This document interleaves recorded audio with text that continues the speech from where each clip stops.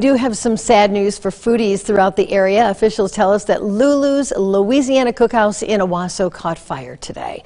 The restaurant is located in the 200 block of South Washington Street.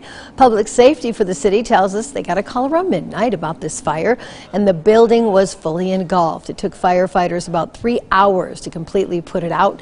Luckily, there were no injuries, and the building, though, does have significant damage.